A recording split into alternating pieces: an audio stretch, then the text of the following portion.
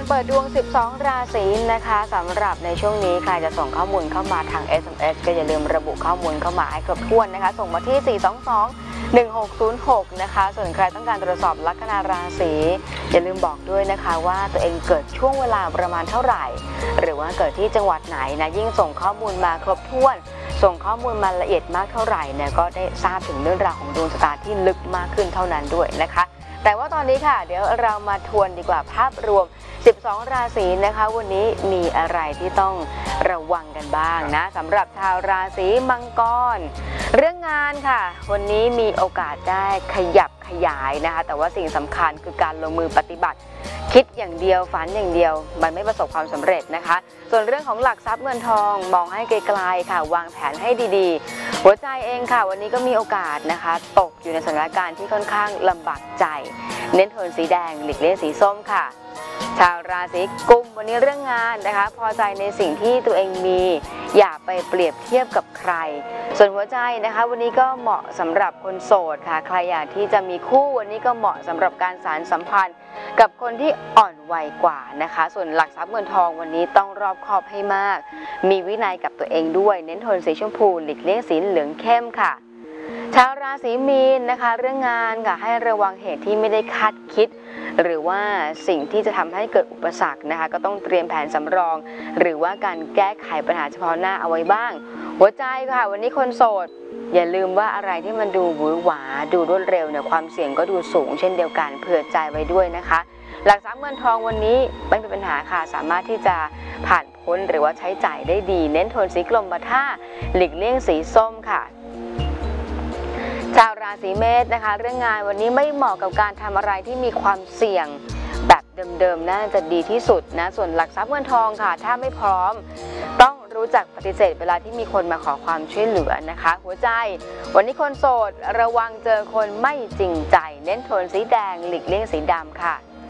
ชาวราศีพฤษภนะคะ เรื่องงานค่ะ วันนี้คนทำงาน ไม่ต้องลงมือเองค่ะ ลองขอความช่วยเหลือนะ หรือว่าขออตัวกลางตัวช่วยมาดีกว่า หัวใจค่ะ วันนี้ก็ขอให้เชื่อความรู้สึกของตัวเองนะคะ หลักทรัพย์เงินทองวันนี้อาจจะต้องการสินทรัพย์ใหม่ อาจจะต้องมีการแลกเปลี่ยนหรือว่าขายสินทรัพย์เก่าออกไป เน้นโทนสีเขียวหลีกเลี่ยงสีม่วงค่ะชาวราศีเมถุนนะคะ เรื่องงานวันนี้ถ้ามีโอกาสให้พิจารณาข้อดีข้อเสียความเป็นไปได้ของตัวเอง แล้วก็รวมไปถึงการทำงานด้วยนะคะ หลักทรัพย์เงินทองวันนี้เหมาะกับการแบ่งปัน เหมาะกับการเป็นผู้ให้ หัวใจค่ะ วันนี้คนที่โสดอยู่และเพิ่งจะเริ่มสารสัมพันธ์ วันนี้ได้มีโอกาสเริ่มความสัมพันธ์ที่ดี เน้นโทนสีส้มหลีกเลี่ยงสีชมพูค่ะ ชาวราศีกรกฎนะคะ วันนี้เรื่องงานค่ะ พยายามอย่าให้เกิดข้อผิดพลาด วันนี้ตรวจเช็ครอบคอบให้ดีด้วยนะคะ หลักทรัพย์เงินทอง เหมาะสำหรับการหารายได้เสริมค่ะ แต่ว่าหัวใจ วันนี้ไม่ว่าจะเป็นคนโสด หรือว่าเพิ่งจะผิดหวังมา อย่าเก็บตัวนะคะ อย่ารู้สึกว่าตัวเองนั้นหมดค่าหมดความหมาย ลองเปิดใจดูอาจจะเจอคนที่เราถูกใจก็ได้ เน้นโทนสีเขียวหลีกเลี่ยงสีเลือดหมูค่ะ ชาวราศีสิงห์วันนี้เรื่องงานนะคะ ถ้ามีโอกาสได้ช่วยเหลือคนอื่น ขอให้ทำหลักทรัพย์เงินทองวันนี้ก็มีแนวโน้มที่ดีนะคะ ใช้จ่ายได้ หัวใจค่ะ วันนี้คนที่มีคู่ระวังปัญหาในเรื่องของระยะทาง หรือว่าเรื่องของเวลาด้วยนะคะ แล้วก็ที่สำคัญเนี่ยดูแลสุขภาพตัวเองให้ดี เน้นโทนสีขาวนะคะหลีกเลี่ยงสีม่วงค่ะ ชาวราศีกันวันนี้เรื่องงานนะคะมีโอกาสที่จะได้รับมอบหมายให้รับผิดชอบงานมากขึ้น เพิ่มขึ้น หลักทรัพย์เงินทองเองก็มีเกณฑ์การใช้จ่ายเพื่อคนรอบข้างนะคะ ส่วนหัวใจคนที่มีครอบครัวนะคะ วันนี้ราบรื่นค่ะ แต่ว่าคนโสดก็พอจะมีโชคอยู่บ้าง เน้นโทนสีเลือดหมูหลีกเลี่ยงสีดำค่ะ ชาวราศีตุลเรื่องงานอย่าเพิ่งเบื่อนะคะ ถ้าเกิดต้องทำอะไรที่มันซ้ำหรือว่าต้องแก้ไขสิ่งเดิมๆ ส่วนหลักทรัพย์เงินทองค่ะ วันนี้มีศักยภาพในการหารายได้เข้ามา หัวใจวันนี้อย่าคิดเข้าข้างตัวเองนะคะ โดยเฉพาะคนที่เพิ่งจะเริ่มต้นสารสัมพันธ์ แล้วก็อะไรที่มันไม่ดีเนี่ยหลีกเลี่ยงจะดีกว่า เน้นโทนสีเขียวหลีกเลี่ยงสีเหลืองค่ะ ชาวราศีพิจิกนะคะเรื่องงานวันนี้คนที่มีโอกาสเลือกงานเนี่ยให้พิจารณาถึงความมั่นคงขององค์กรเป็นหลัก ส่วนหลักทรัพย์เงินทองนะคะ ก็ต้องมีแต่เรื่องการใช้เงินในการแก้ไขปัญหาวันนี้ไม่ง่ายนะคะ จัดสรรปันส่วนวางระบบระเบียบให้ดีด้วย ส่วนหัวใจ วันนี้คนโสดพักใจไว้ก่อน แล้วก็อย่าไปแย่งรักใครเน้นโทนสีเหลืองเข้มหลีกเลี่ยงสีเขียวค่ะ ชาวราศีธนูนะคะ เรื่องงานวันนี้พยายามเรียนรู้ให้มากๆนะคะมีโอกาสได้ทำงานใกล้ชิดกับคนที่มีฝีมือ ส่วนหลักทรัพย์เงินทองค่ะ วันนี้อยู่เฉยๆดีกว่า ไม่เหมาะกับการคิดการใหญ่ หัวใจค่ะ วันนี้ก็ใครที่กำลังลุ้นอยู่นะ ก็มีโอกาสลุ้นด้วยนะเน้นโทนสีเลือดหมูหลีกเลี่ยงสีม่วงค่ะ นี่คือภาพรวมของ 12 ราศีในวันนี้นะคะ ใครฟังไม่ทันทวนซ้ำเพิ่มเติมได้เลยนะ เข้าไปกดถูกใจเข้าไปคลิกไลค์กันที่ Facebook Fanpage ของเรา Miracle Channel TV นั่นเองนะคะ แล้วก็อีกหนึ่งเรื่องราวนะก่อนที่จะให้อาจารย์ได้ตรวจสอบดวงชะตาการเมื่อวานเราพูดถึงเรื่องของกิจกรรมนะคะจ้ะที่จะได้มีโอกาสได้ตรวจดวงชะตา กันตัวต่อตัวเพราะว่าหลายคนคิดถึงนะคะอยากจะมาพูดคุยกับอาจารย์มาพูดใกล้ๆ หรือว่าได้มีโอกาสได้ตรวจดวงกันชัดๆเลยเนี่ยครับก็อย่างที่บอกค่ะว่าอีกไม่กี่เดือน เราได้มีโอกาสได้เจอเจอกันอย่างแน่นอนนะคะเพราะว่าจ้ะหลายๆคนที่รอคอยในการตรวจดวงชะตากันนะคะ แล้วก็สำหรับหลายๆคนที่บอกว่าเอ๊ะแล้วเรื่องของการอ่า รับส่งดาวจะมีเกิดขึ้นอีกหรือเปล่า ก็ขออนุญาตประชาสัมพันธ์ล่วงหน้าอืมอย่างเมื่อวานเราก็คุยถึงโปรเจกต์ที่เราจะทำกันในเรื่องของการตรวจดวงชะตาเพื่อนะครับ ทำการอ่านำค่าครูทั้งหมดเนี่ยบูรณะนะครับซ่อมแซมองค์หลวงพ่อหมอนะครับแล้วก็ในส่วนของพระอุโบสถของทางวัดท่าบันเทิงธรรม อันนี้คือกิจกรรมที่จะทำช่วงประมาณปลายพฤษภาคาบเกี่ยวต้นมิถุนา เดี๋ยววันเวลากำหนดกันอีกครั้งหนึ่ง อันนี้คือตรวจดวงกันตัวเป็นๆนะครับ และอย่างที่มุ้ยบอกอ้าวในเรื่องเหตุการณ์สำคัญในทางโหราศาสตร์ปีนี้หลายคนทราบนะครับว่าดาวใหญ่โยกย้ายไม่ว่าจะเป็น 16 มกราคมที่ผ่านมาราหูย้ายค่ะจากกันยกเข้าสู่สิงห์นะครับ 6 มีนาคมเนี่ยอ่ามริตยูเนี่ยยกจากอืมมีนเข้าเมษแต่วันที่ 7 สิงหาคมที่จะถึงนี้อันนี้สำคัญยิ่ง พระพระฤหัสบดีซึ่งเป็นประธานฝ่ายสุภเคราะห์เป็นดาวแห่งโชคลาภศีลธรรม ดาวแห่งคุณงามความดี จะโยกย้ายราศีเช่นเดียวกันครับ ปัจจุบันเนี้ยสถิตอยู่ในราศีสิงห์จะยกเข้าสู่ราศีกันในวันที่ 7 สิงหาคม ฉะนั้นนะครับทางรายการก็อ่าจะทำการจัดนะครับพิธีในเรื่องของการสวดนพพระเคราะห์บูชารับและส่งพระพระฤหัสบดี ซึ่งในครั้งนี้เนี่ยก็ต้องบอกว่าเราเองก็จะเตรียมความพร้อมมากขึ้น โดยเฉพาะในเรื่องของการหาสถานที่อืมรองรับ นะครับเพราะว่ากิจกรรมในช่วงต้นปีที่ผ่านมาที่เราไปทำพิธีกันที่วัดพระเชตุพนเกี่ยวข้องกับการสวดนพพระเคราะห์บูชารับและส่งพระราหูเนี่ยโดยท่านพระครูอาคมสุนทร รวมถึงพระผู้ใหญ่นะครับของทางวัดเนี่ยครั้งนั้นต้องบอกว่าเราประมาณการผิดนะครับก็คือคนที่สนใจเนี่ยมีมากกว่าที่เราคาดไว้พอสมควร ฉะนั้นในครั้งที่แล้วเนี่ยก็อาจจะมีขรุขระบ้างค่ะในแง่ของสถานที่นะครับ แต่ทุกคนก็อิ่มบุญนะครับ แล้วก็มีความปิติสุข จากการเข้าร่วมกิจกรรมในครั้งนั้น ฉะนั้นสิงหานี้นะครับในแง่ของพิธีกรรมก็จะโครงสร้างก็ใกล้เคียงกัน แต่ว่าจะเน้นในเรื่องของการบูชารับและส่งพระพระฤหัสบดี จังหวะเปลี่ยนผ่านแบบนี้สำคัญอย่างที่ผมพูดอยู่เสมอ โดยเฉพาะดาวใหญ่เวลาโยกย้าย ขอให้นึกถึงคนก้าวเท้าจากเรือขึ้นฝั่ง หรือคนก้าวเท้าจากฝั่งลงเรือ เรือจะโครง เรือจะสั่นไหวเหมือนกันครับ ทุกจังหวะแห่งการเปลี่ยนแปลงที่ว่านั้นก็ต้องมีราศีที่ได้รับผลกระทบ ทั้งทางที่ดีขึ้น และทางที่แย่ลง ฉะนั้นการเข้าร่วมพิธีกรรมดังกล่าว ก็จะช่วยนะครับเสริมสร้างใครที่กำลังจะดีก็จะเจริญรุ่งเรืองมากขึ้น ในทางกลับกันราศีที่กำลังจะได้รับผลกระทบจากการโยกย้ายเนี่ยก็จะทุเลาเบาบางปัญหาลงได้นะครับฉะนั้นในช่วงสิงหาคมนี้จัดแน่ ๆ และครั้งนี้สถานที่รองรับ เตรียมการไว้แล้ว เพราะได้ปรึกษากับทางท่านพระครูอาคมนะครับ ซึ่งท่านก็คงจะเมตตามาทำเป็นผู้นำในการประกอบพิธีให้เหมือนเช่นเคยนะครับในแง่ของสถานที่เนี้ยก็ตั้งใจว่าจะรับให้เพิ่มขึ้นมากกว่าเดิม 1 เท่าตัวอืมแต่วันนี้เรามีภาพบรรยากาศค่ะในเรื่องของการบูชารับและส่งพระราหูรวมถึงสวดนพเคราะห์อืมในช่วงต้นปีที่ผ่านมาที่เราไปประกอบพิธีกันที่ วัดพระเชตุพนวิมลมังคารารามมาฝากครับ จะได้เห็นภาพบรรยากาศก่อนนะคะ ก่อนที่จะถึงวันที่ 7 สิงหาคมนั่นเองนะคะจ้ะว่าบรรยากาศเวลาที่เราได้เข้าร่วมพิธีเนี่ยเป็นอย่างไรบ้างเข้มขลังขนาดไหนไปชมเลยค่ะก็ขอเจริญพรญาติโยมสาธุชนทุกท่านที่เดินมาร่วมงานมงคลในวันนี้ จึงได้สถาปนาวัดโพธารามแห่งนี้ ทรงสถาปนาเป็นพระอารามหลวงก็ไม่สำคัญเท่าเทพอาเทศเทพอาจาร์อาจารย์น้องมมานกบูชา น้องถวายเครื่องสักกาละแล้วก็ตั้งใจภาวนาเดี๋ยวอาตมาเราจะได้นำเป็นช่วงๆที่แจงไปทีละชั้นละข้นนี่ว่าเราสักการะชุดช่วงที่สองคือสักการะเทพเทดาแล้วก็บูชาแล้วก็อธิษฐานขอพรให้ท่าน อย่างนี้พระท่านก็สรรเสริญเจริญด้วยมงคลคาถาประกอบเป็นทั้งสองพิธีหนึ่งพิธีพุทธศาสนาสองพิธีตามเกี่ยวกับเทพธิดาซึ่งเป็นพิธีที่ประกอบได้ยากที่จะครบโดยทั่วๆไปแล้วก็ฝ่ายเดียวส่วนมากก็ฝ่ายพุทธศาสนาฝ่ายเดียวท่านจะบอกว่าอยู่ไหนเนาะส่วนแล้วเป็นมงคลทั้งนั้นแต่ว่าเหตุ ที่จะให้เกิด เราต้องมีความเข้าใจ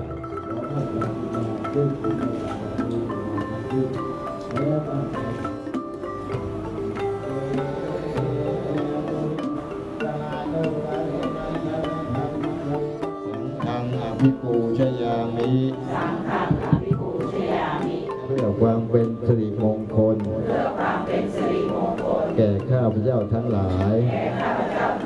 ้งหลาย สวากขาโตภะคะวตาธรรมโม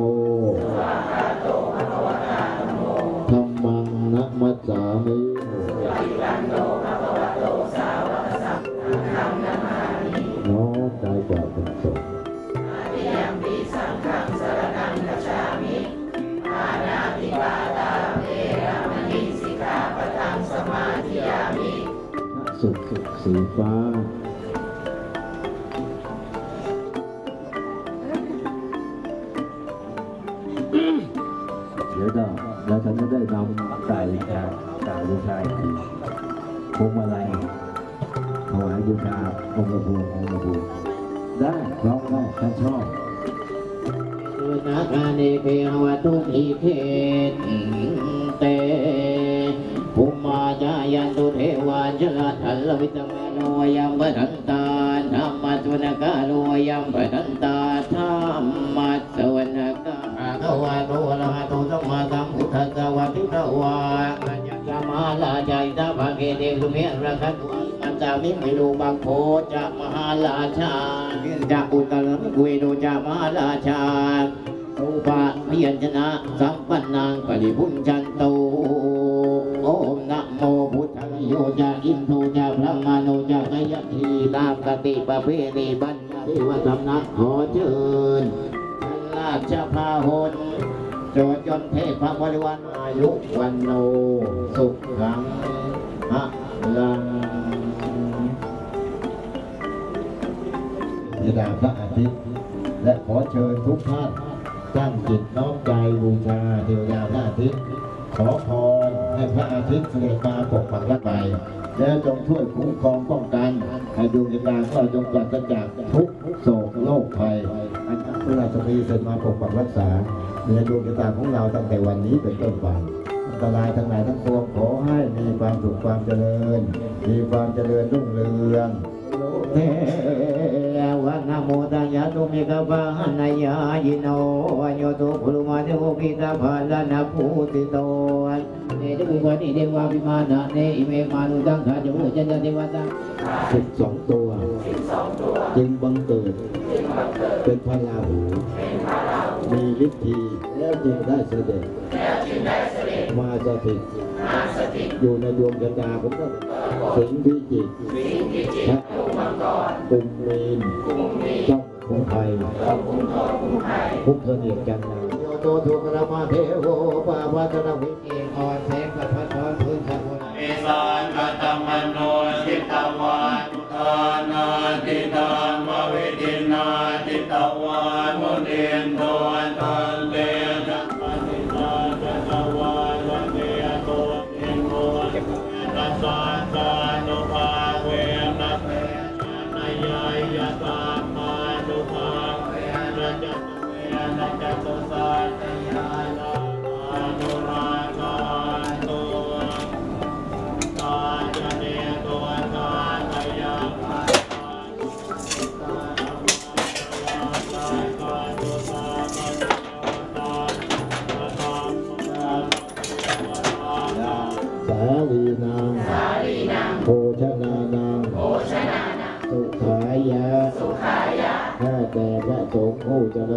ริญข้าพระเจ้าทั้งหลาย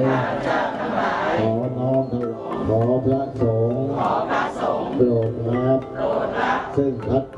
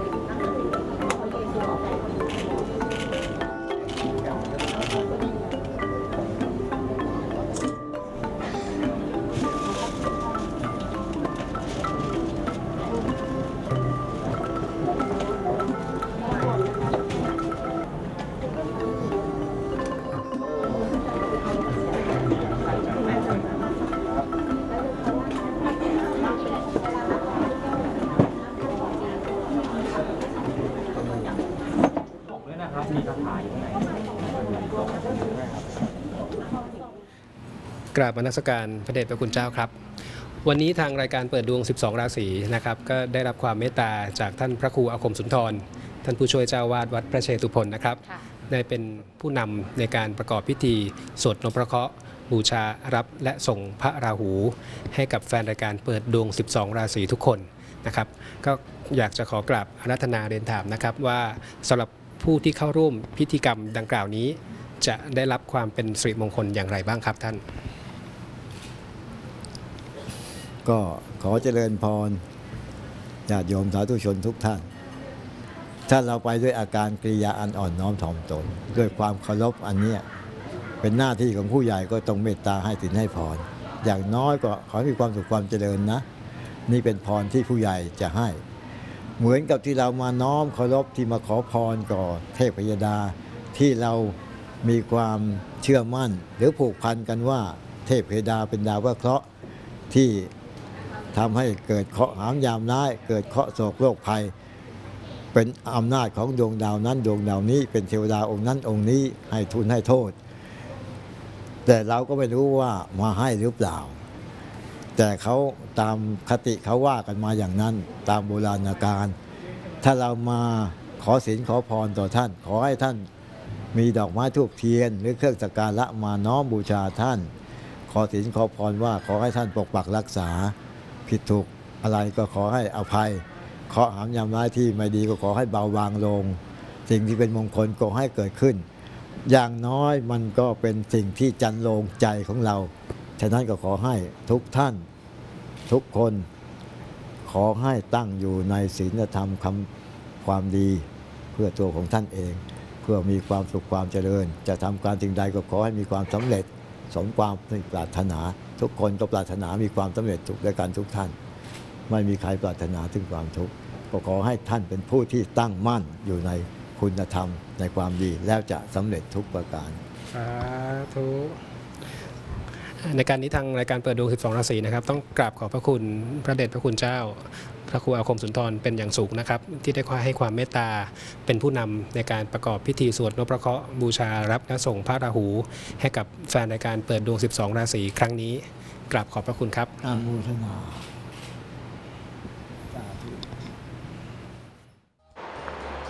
และนี่นะคะคือบรรยากาศนะคะที่ได้มีโอกาสได้เข้าร่วมพิธีอันสำคัญแบบนี้นะคะในการรับส่งดาวที่มีการโยกย้ายกันไป ฉะนั้น เดี๋ยวช่วงประมาณใกล้ๆนะครัคะบถึงก่อนที่7สิงหาคมเดี๋ยวเราจะได้มาประชาสัมพันธ์พันธ์บอกกล่าวอีกครั้งหนึ่งนะว่าเราจะเริ่มต้น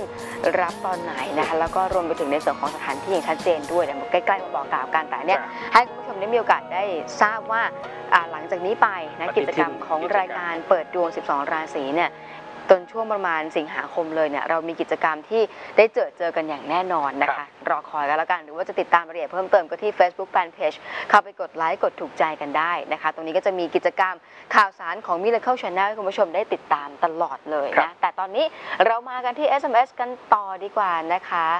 เจ้าของ SMS 31 มกราคม 2518 18นาฬิกา15 นาทีวันศุกร์การเงินสุขภาพการงานแล้วก็เรื่องของคู่ค่ะอ่า ปฏิทินตรงกับวันศุกร์อืมถูกต้องนะครับอ่าปีจรเนี้ยให้ระวังพวกปัญหากล้ามเนื้ออักเสบเรื้อรังนะครับ เคล็ดกัดยอกซนเป็นและหายช้า หรือแม้กระทั่งในเรื่องของอุบัติเหตุเพศภัย ของคุณปีนี้ให้ชีวิตสัตว์ครั้งละ 8 ตัวนะครับ ส่วนในเรื่องของงานน่ะแต่งานทายดีนะ ขยับขยายมีเกณฑ์ในการริเริ่มสิ่งใหม่ ๆ คู่ครอง ความรักถ้ามีคู่และประคับประคองผ่านช่วงปีที่แล้วมาได้ ปีนี้เบาลงถ้อยทีถ้อยอาศัยแต่ในทางกลับกันถ้ายังโสด ปีนี้มีเกณฑ์รักใหม่ SMS ต่อมาค่ะ คุณวันวันที่พานะคะ1มกราคม 2536 เวลาเกิดค่ะ8นาฬิกา16 นาทีวันศุกร์มีเกณฑ์จะได้รถใหม่หรือเปล่าอาตอนนี้อยู่ในช่วงอายุย่าง 24 นะครับ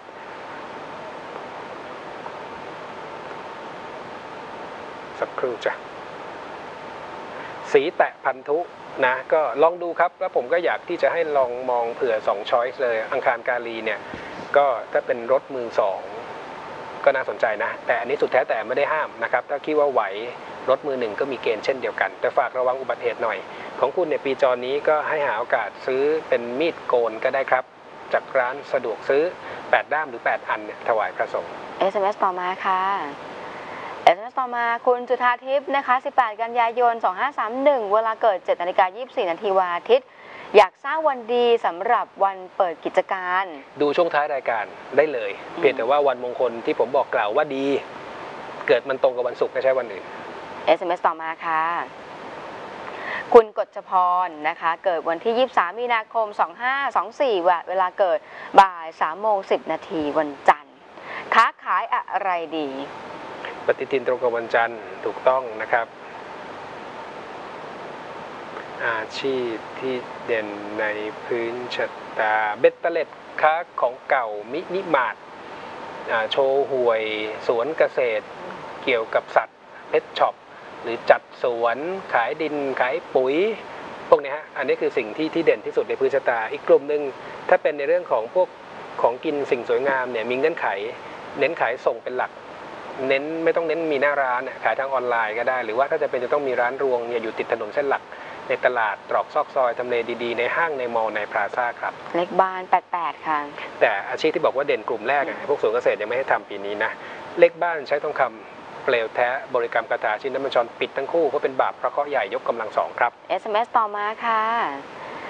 คุณละเมียดนะคะ 8 กุมภาพันธ์ 2495 เวลาเกิด 6 โมงเช้าวันศุกร์ เงินกับโชคลาภเป็นอย่างไร 8 กุมภา